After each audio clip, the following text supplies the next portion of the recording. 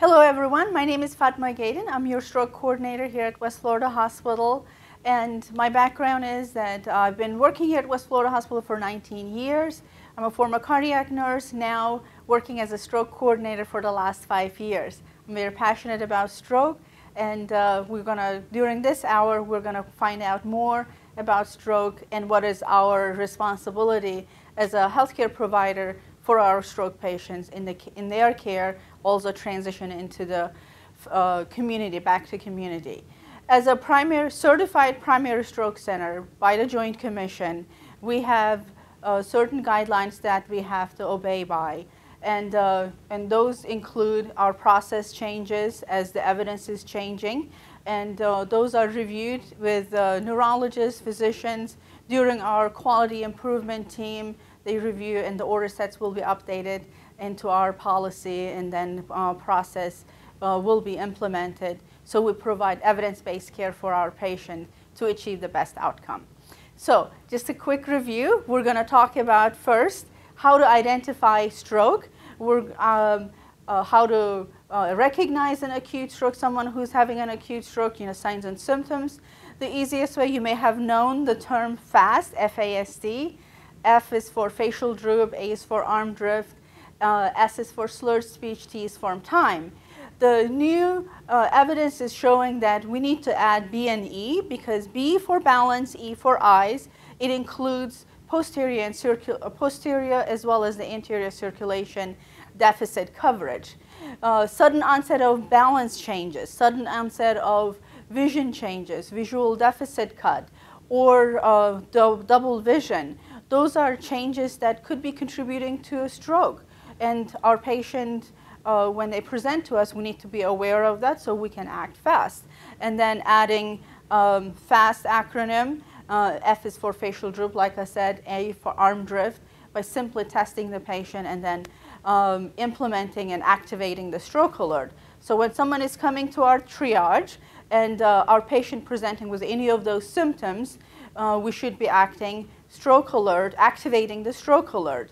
Before you activate that, we need to find out additional information from our patient. First, when did the symptoms have started?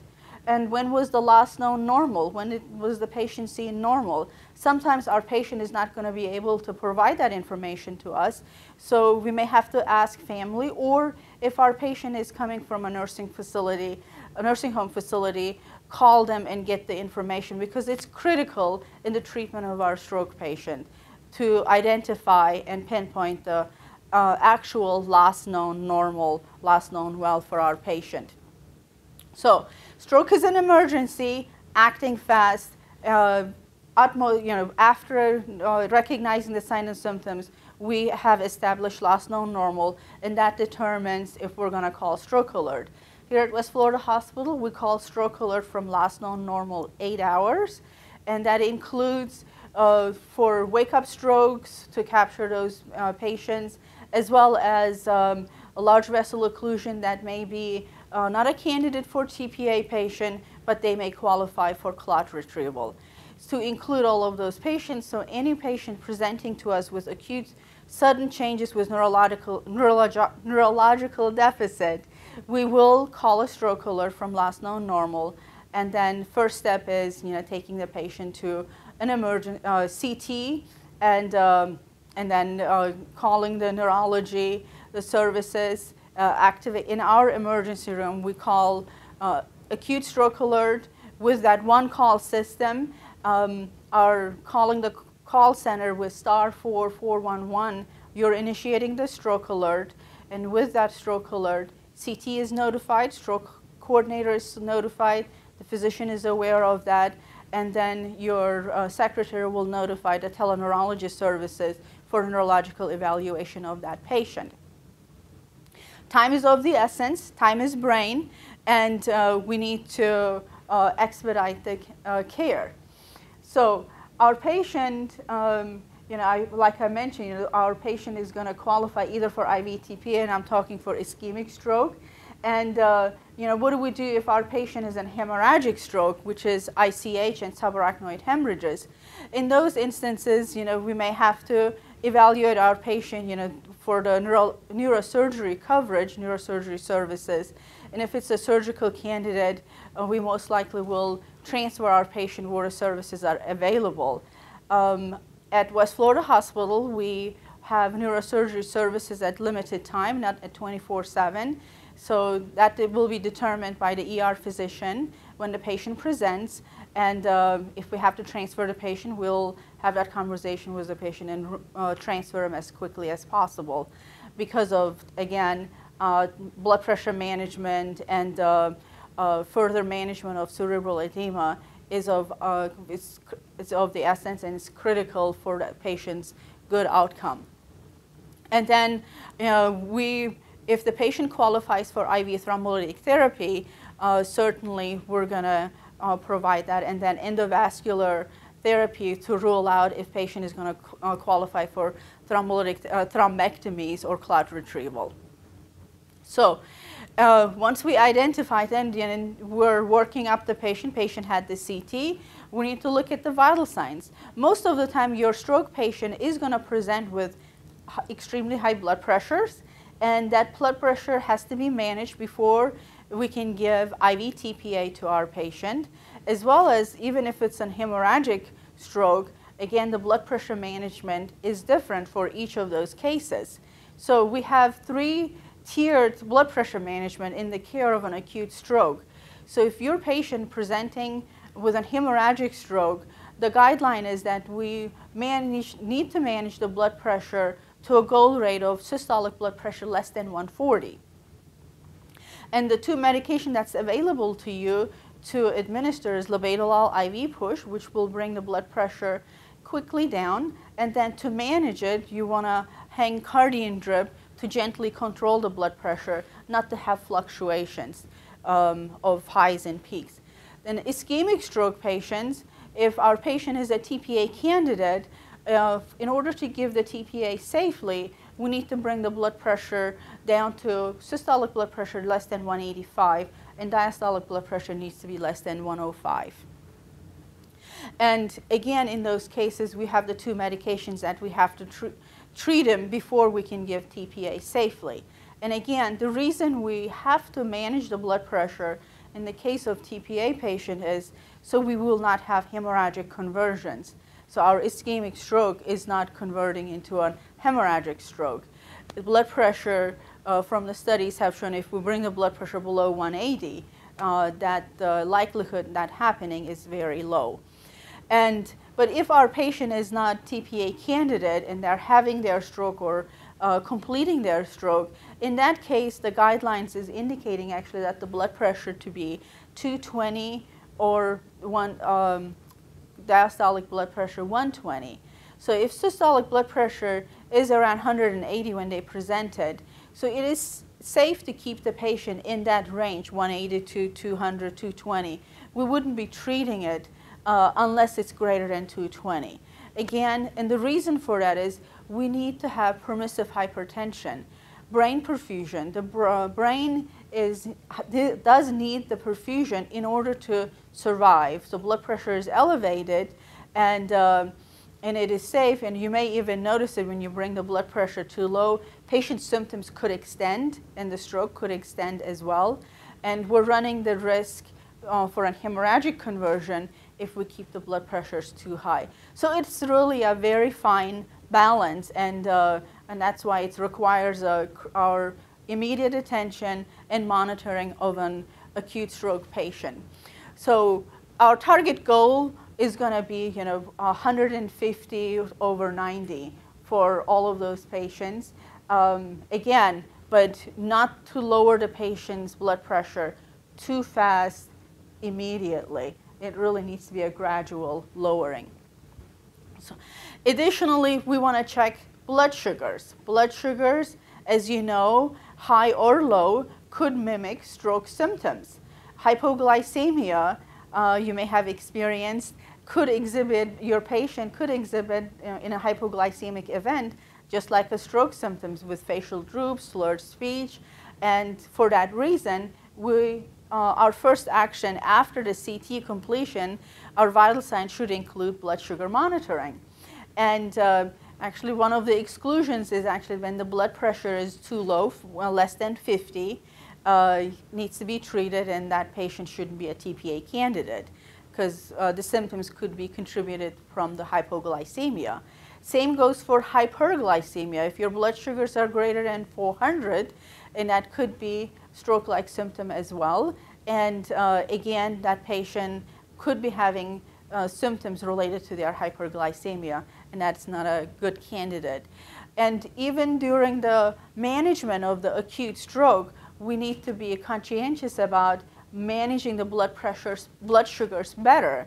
Uh, any hyper, euglycemia is our goal to keep it around uh, less than one, around 140. Um, and uh, if our patient is diabetic, obviously they're going to be on Accu-Chek, but regardless if they're diabetic or not, our patient is going to, we will be monitoring the bedside glucose testing uh, at least for 24 to 48 hours.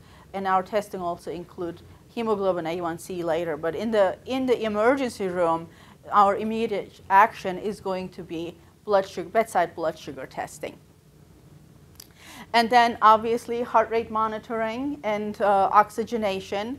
Typically, your acute stroke patient is not going to have any respiratory distress or uh, difficulty with saturation unless it's a brainstem stroke. But in this case, you know, majority of our goal is to keep oxygen saturation greater than 92%, uh, but not to be exceeding um, more than 94% or 99%. So uh, just be conscientious about too much oxygen is not good either for our patient. And then uh, heart rate, if they are presenting with bradycardia, and that is a new change, and that could be the sign and symptom for stroke.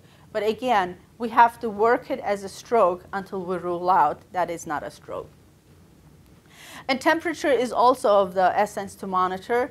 Any fever uh, associated with stroke-like symptoms, it is uh, related to worse outcomes, but that doesn't mean they're not having a stroke, but just be uh, conscientious about that and monitoring it for uh, normothermic, normothermia. That should be our goal.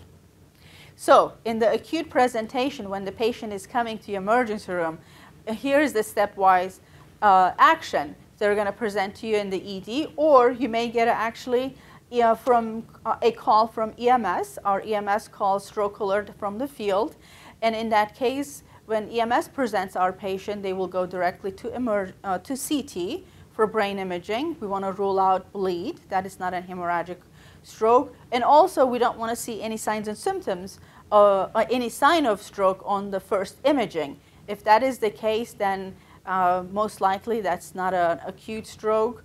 Uh, our patient will not qualify for TPA. So determine uh, recognize the symptoms and determine the last known normal are the first initial uh, two questions that we have to answer.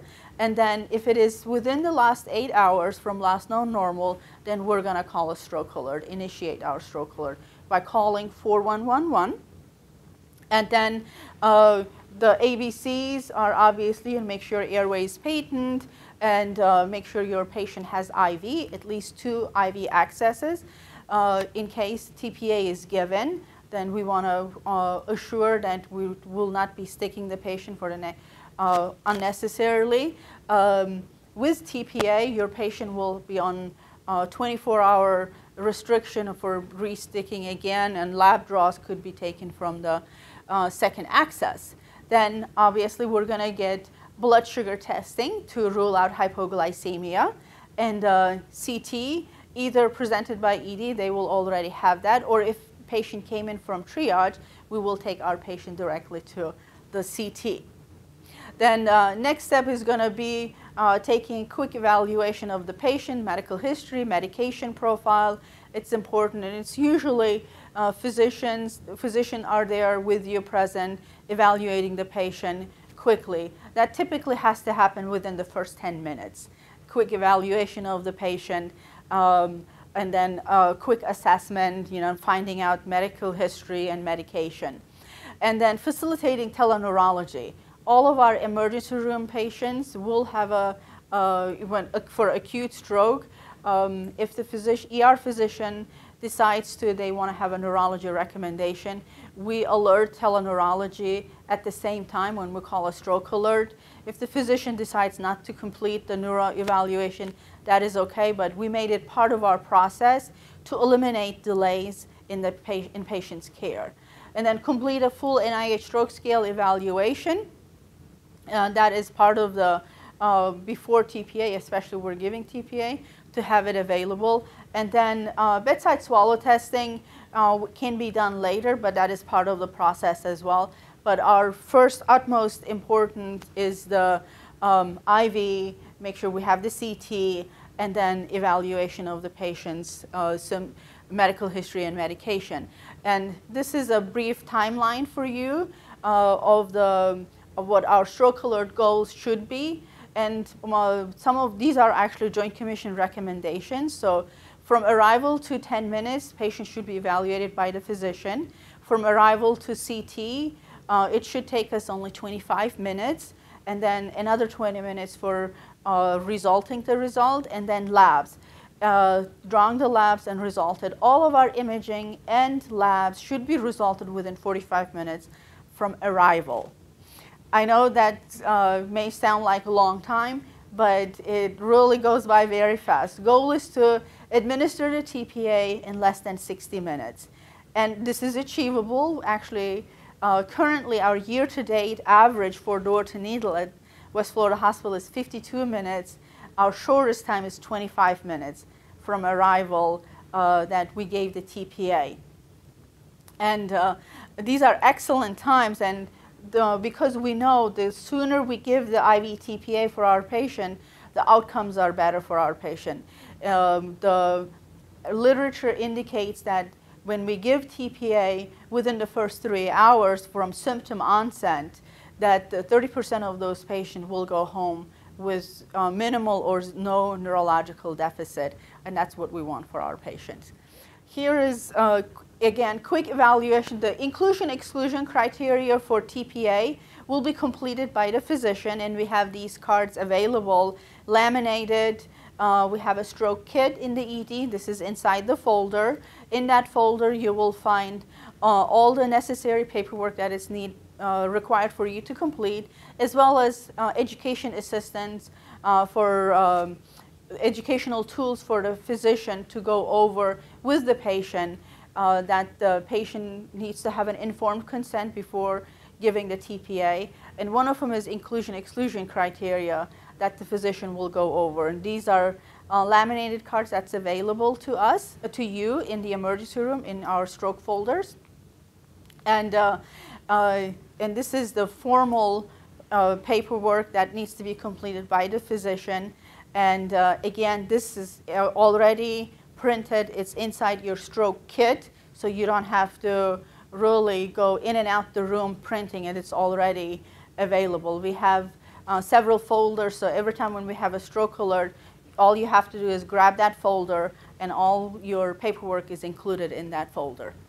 And uh, once you give the TPA, and this is the documentation for neuro checks and vital signs, uh, when TPA is given, the requirements, the guideline indicate that patient needs to be monitored every 15 minutes and uh, uh, with blood pressure, heart rate, pupils, and neurological evaluation. And this paper form gives you an abbreviated NIH. So before you give TPA, you will do a full NIH, and then during administration, every 15 minutes, you will do an abbreviated and after TPA is completed, you will do another full NIH stroke scale documenta assessment and documentation of that. And, um, but this form all serves two purposes. One, that uh, we know uh, we have better compliance with the paper form.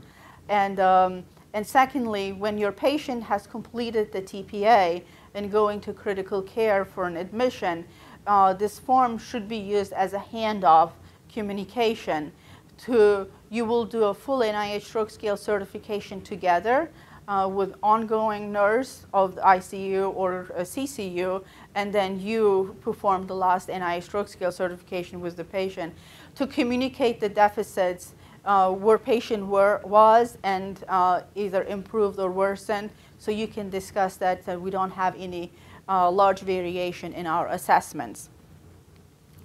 Um, here is a, just an uh, example of the CT scan. We should not be having any uh, scans like that when we're giving TPA. The one on the uh, left is an ischemic stroke, already old, and the one on the right is a hemorrhagic stroke.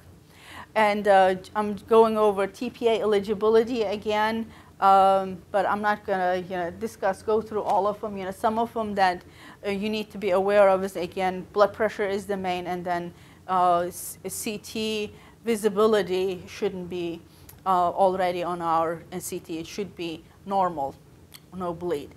But uh, I do want to spend a little bit of time about the TPA checklist that's required from the nursing perspective. Um, what it's before we administer uh, TPA safely, we have to calculate the dosage according to uh, what the manufacturer is recommending for an ischemic stroke. The only drug approved for acute ischemic stroke is alteplase or Activase. And for stroke, that medication is given 0.9 milligram per kilogram, so it's weight-based. I know alteplase is also approved for pulmonary embolus or MI uh, in the cases, and those dosages are different. So in our Alaris, when you're giving a TPA over pump, and it has to be given over the pump, and um, you have to select ischemic stroke. And uh, you will actually have two uh, selections. Either uh, one will be uh, ischemic stroke 90 kilo, less than 90 kilogram, and the other one is ischemic stroke uh, patient with greater than 90 kilogram. And the reason for that is you give the TPA weight-based 0.9 milligram per kilogram, but the weight is for a maximum dose regard, up to 90 kilogram. If your patient is more, uh, weighs more than 90 kilogram, uh, you will not give more than 90 milligram to the patient. So that's the maximum dose regardless of the weight. And uh, it comes in um, powdered form uh, with the sterile water together. And uh, you, uh, the ED nurses usually mix it at the bedside. And then the dosage of the patient is that you have to validate your dosage and the drug with another nurse or another clinician. It could be a physician, clinical pharmacist, or another nurse, like I said. And if the teleneurology is in case, they usually calculate it with you also. And uh, we also have calculation assistance posters in our ED rooms available for you as assistance. And then um, once you validated uh, the dosage, you know, patient has to give us an informed consent that they agreed to have the TPA. And that informed consent, uh, we still require a written consent, you know, physician uh, discusses the benefits and the risk of the medication and they agree to have the medication, then we'll get a, a written consent from them. And uh, before we can give the TPA, now like I mentioned, you know, please complete an NIH stroke scale assessment and make sure that the blood pressure is less than 185 systolic. And uh, after everything is ready, our bolus, we'll start with the bolus. So 0.9 milligram per kilogram is um, your, let's say our patient is 100 uh, kilogram, so I'm going to give the maximum that I will giving is a 90. My bolus is going to be 10% of it is going to be administered as a bolus, as that's an IV push, and then remaining dosage is going to be given over IV pump over 60 minutes. The IV push is 10% uh, uh, of the 90 milligram, 9 milligram, and then the remaining 91 milligram, you, uh, 81 milligram you will give over one hour via the Alaris pump. So I have a little video just to show you how to mix the TPA and uh, watch the video. Activase should be reconstituted immediately before use and only by aseptically adding sterile water for injection USP without preservatives. This preparation will result in a colorless to pale yellow transparent solution containing Activase 1 milligram per milliliter.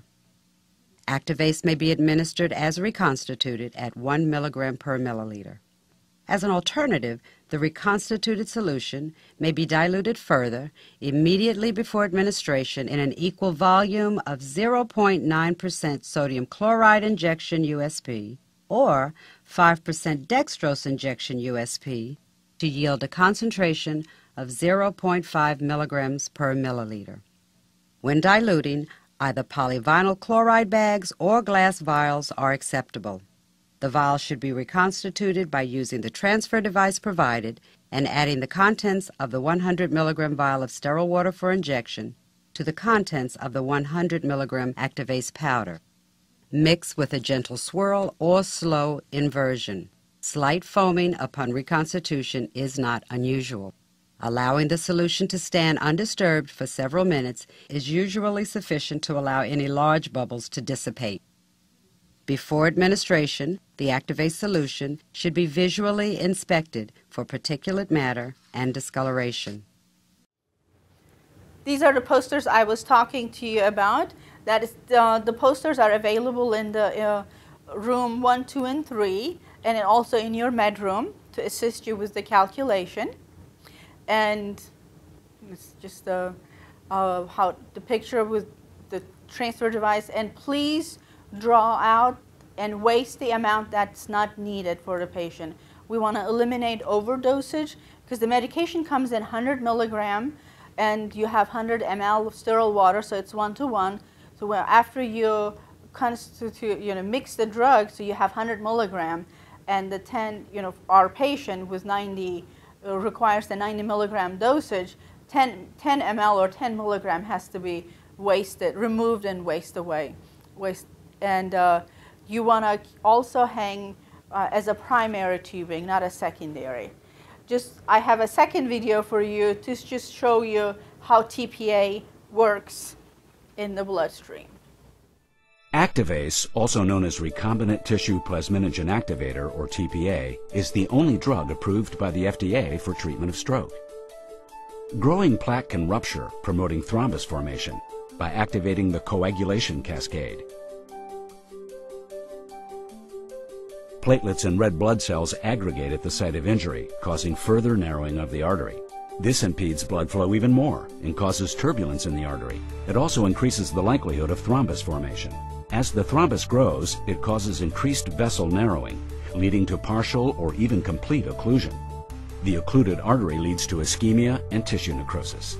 When a piece of thrombus breaks off, it's called an embolus as it travels up the artery. During a stroke, ischemia can progress to infarction, Beyond the infarction lies still viable tissue called the penumbra.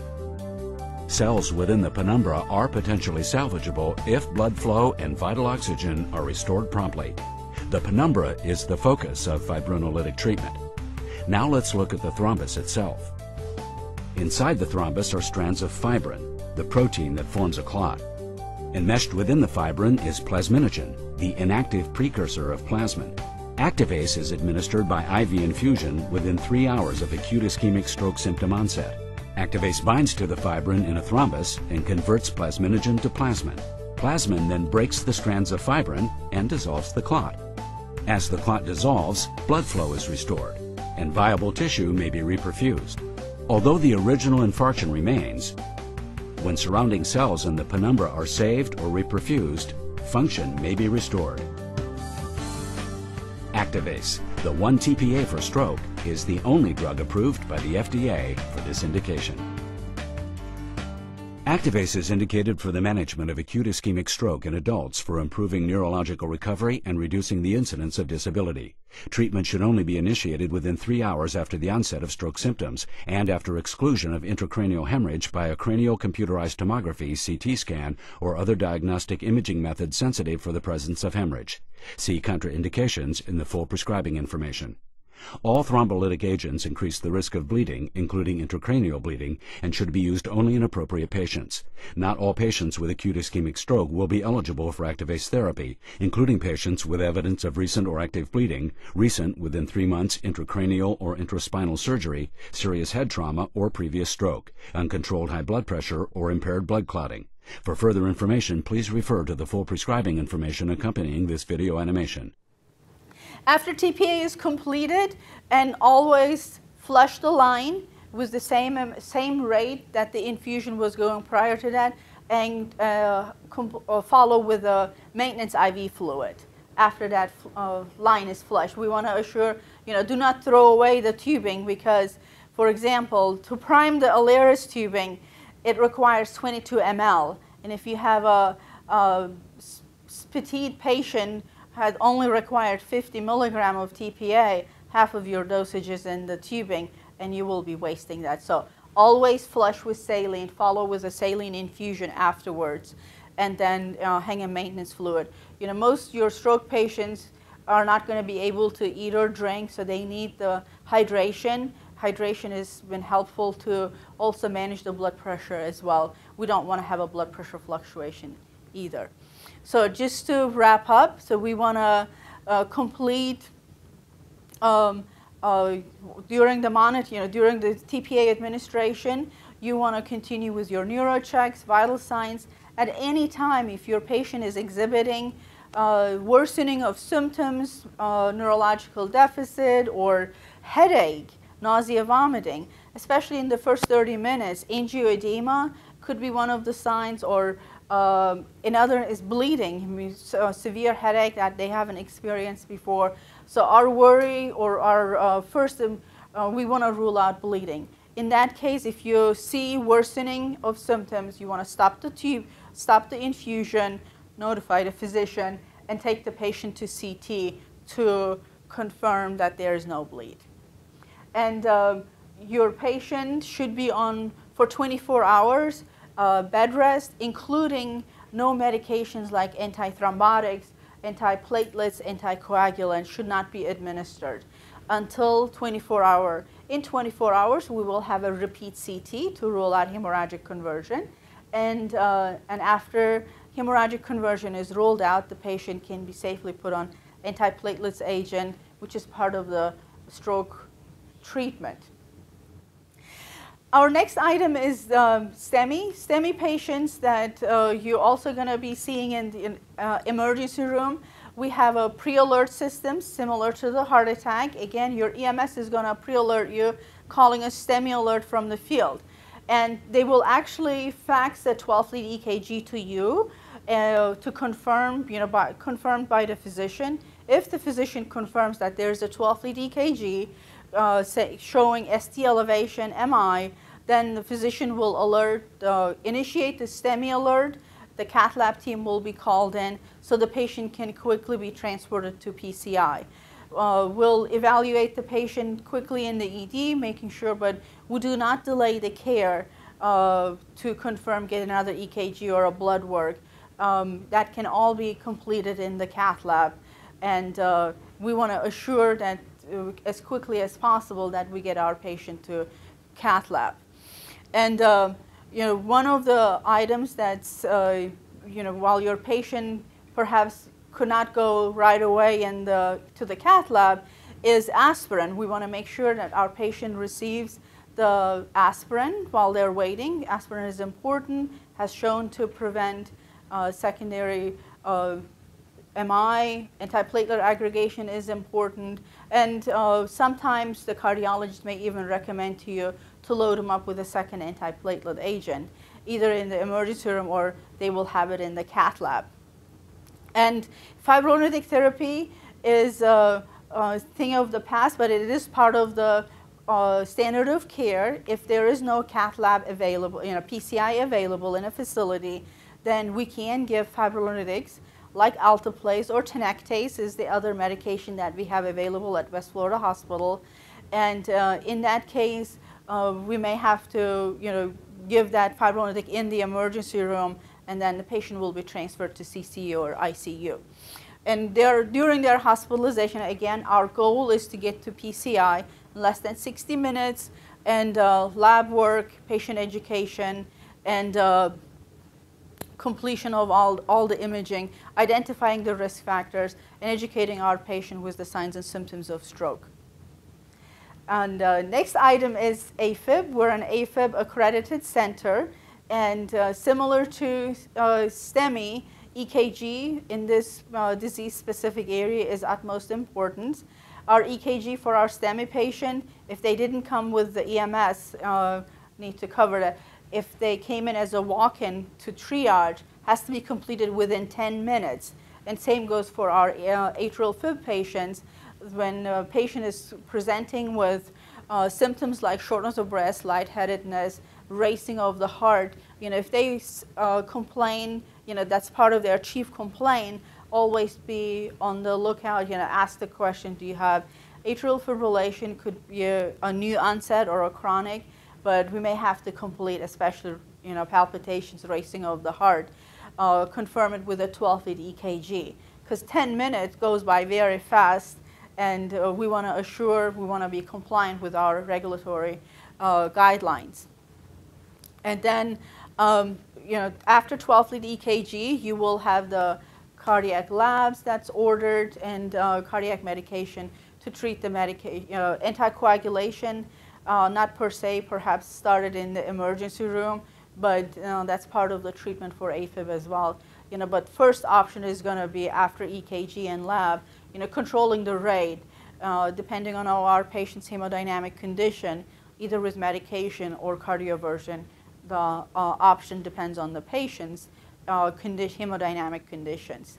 And then um, anticoagulation therapy is important. We want to prevent, obviously, further uh, problems for our patient.